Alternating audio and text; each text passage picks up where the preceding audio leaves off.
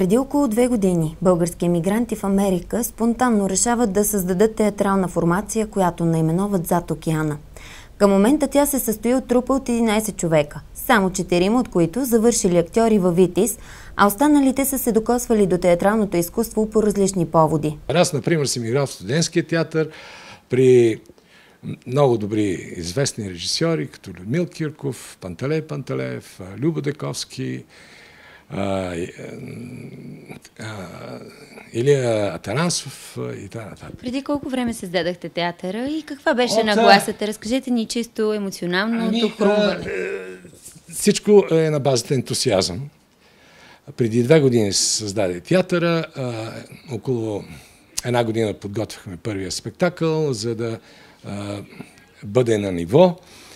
А, и а, всичко на хората от трупата, всичко създадаха, дадаха от себе си. И декора, и костюмите, и а, всички атрибути а, на базата на един чист ентусиазъм и любов към театъра.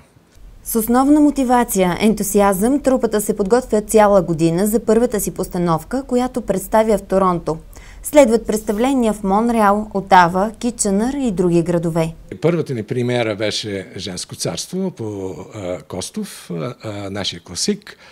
А сега подготвям втора премиера а, по Иван Вазов а, Двубой. Премиерата беше с, с голям успех, девет спектакъла имаме. Публиката ни възприе много възторжено, с а, дълги а, аплодисменти.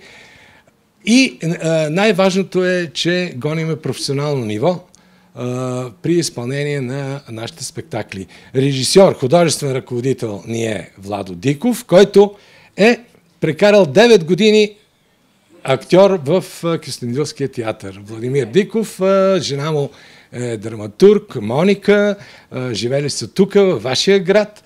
И поради тази причина се обърнахме за помощ към Кюстендилския театър и я получихме веднага.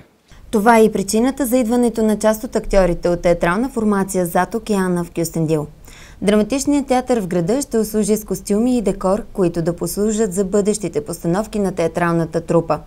Освен да радват българската публика в далечна Америка с изнасяне на представления на български язик, актьорите са си поставили за цел да ангажират и вниманието на децата, като създадат школа, подходяща за малките таланти.